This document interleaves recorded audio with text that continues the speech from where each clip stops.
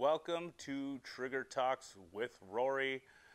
I'm the only person that you see on videos because I'm the only one that works here that's willing to do it, and I'm the least paid person here. So, today we're going to talk about how to convert your rocker switch in your trigger controller into a momentary switch. What is a momentary switch? Think of the window switch in your car. It's only on when you're holding the switch on. Same with your horn button on your steering wheel. It's only on when we're holding it on. So how do I convert my switch to that and why would I do that?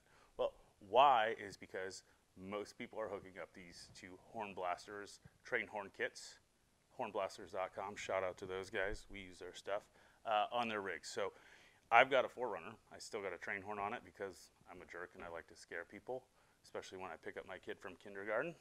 Shout out to Miss Banfield for tolerating that. And they're great for shows. They're just great for all around nonsense and being a jerk like me.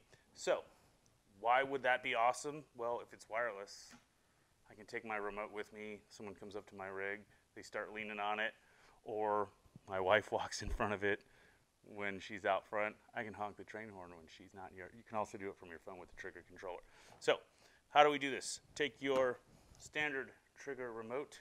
These all come with latched switches, grab a small screwdriver, pop it in the side, pop this out. Now, these switch covers have little post on each side. You can see these little round posts. That's actually what this rocks on in its cradle here. When we look in here, there's a little silicone button. These are actually momentary switches that are locked in place by these little tangs on the side right here.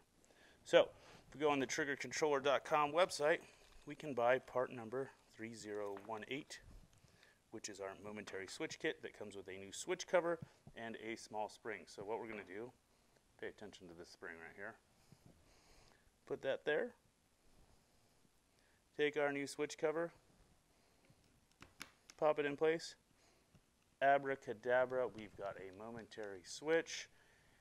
If you think you can do it at home or you want to do it at home, you don't want to wait, you can shave off these little tangs, throw a spring behind it, and you've got your own momentary switch triggercontroller.com, part number 3018, momentary switch kit.